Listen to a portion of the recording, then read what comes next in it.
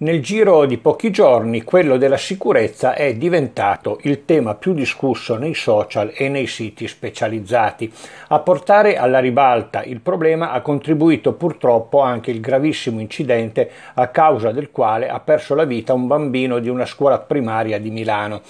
Per la verità le indagini sul caso sono ancora in corso, ma sono in molti a protestare contro la scarsa sorveglianza esistente nelle scuole primarie e dell'infanzia in conseguenza del taglio degli organici dei collaboratori scolastici. Così si è espresso persino lo stesso sindaco di Milano Giuseppe Sala, concetto analogo è stato ribadito dal ministro Fioramonti. Per parte loro le organizzazioni sindacali hanno deciso di promuovere in tutte le scuole d'Italia una assemblea sindacale di un'ora proprio per discutere del problema della sicurezza nelle scuole.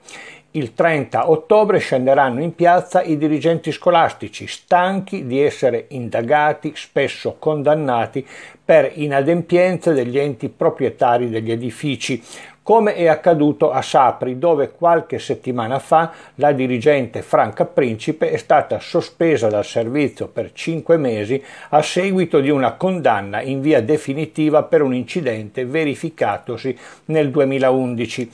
ed è proprio l'associazione fondata da Franca Principe, Modifica 81, che insieme a diversi gruppi spontanei ha promosso la manifestazione del giorno 30, con la quale si chiedono anche modifiche sostanziali al decreto legislativo 81 del 2008 in materia di sicurezza. Eh, insomma, ancora una volta c'è voluta una tragedia per mettere al centro dell'attenzione un problema che nelle scuole, soprattutto in quelle che accolgono gli alunni più piccoli, c'è sempre stato, la scarsità di personale per garantire la sorveglianza negli spazi scolastici, soprattutto nei momenti più delicati della giornata, per esempio durante gli intervalli, durante l'uscita da scuola o nel momento di accesso allo scuola bus. C'è da augurarsi che la questione non cada nel dimenticatoio e che nel redigere la legge di bilancio si inizi ad affrontare seriamente il problema.